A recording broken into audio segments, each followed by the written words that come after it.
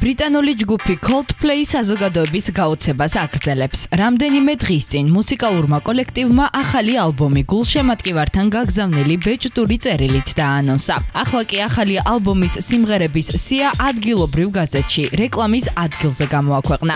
ალბომში შესული სიმღერების ჩამონათვალი გაზეთ Daily Post-ში გამოქვეყნდა. ის საყოფაცხოვრებო ნივთების შესახებ განკუთვნილი რეკლამების კატეგორიაშია განთავსებული. შეგახსენებთ, რომ 80 მილიონი ჩანაწერის მფლობელ ჯგუფს მრავალი ჯილდო და ნომინაცია აქვს მიღებული. ის 21-ე საუკუნის ერთ-ერთ ყველაზე მოთხოვნად ბრიტანულ ჯგუფად მიიჩნევა. ბენდი ბრიტის 8 ნომინაციის და MTV-ს მუსიკალური ვიდეოების 5 ჯილდოს მფლობელია. რაც შეეხება ახალი ალბომის გამოსვლის თარიღს, ის 22 ნოემბერს გამოვა და ორ ნაწილად იქნება გაყოფილი. დაველოდოთ რა იქნება ბენდის მორიგი კრეატიული ნაბიჯი.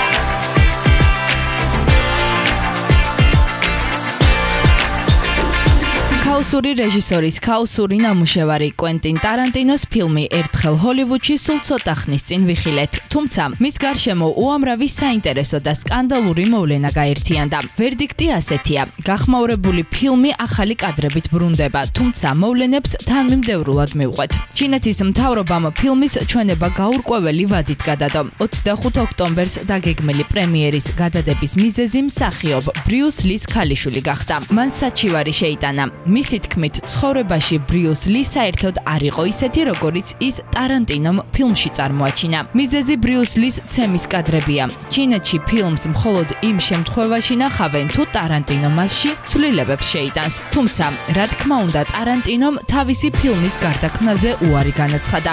ის სცენების ამოჭრას არაპირებს და მისთვის სულ ერთია, ნახავენ თუ არა ფილმს ბრიუს ალის თანამემამულეები. კვენტინი კადრებს არასდროს ჭრის. ის მათ ამატებს. სულ ცოტა ხნის წინ ინფორმაცია გავრცელდა, რომ 25 ოქტომბრიდან ფილმის ახალ ვერსიას 1000 კინოთეატრში აჩვენებენ. ფილმის ქრონომეტრაჟი, რომელიც 2 საათსა და 41 წუთს შეადგენს, კიდევ 10 წუთით გაიზრდება. თუ რა სცენები დაემატება ფილმს, ძალიან მალე ვიხილავთ.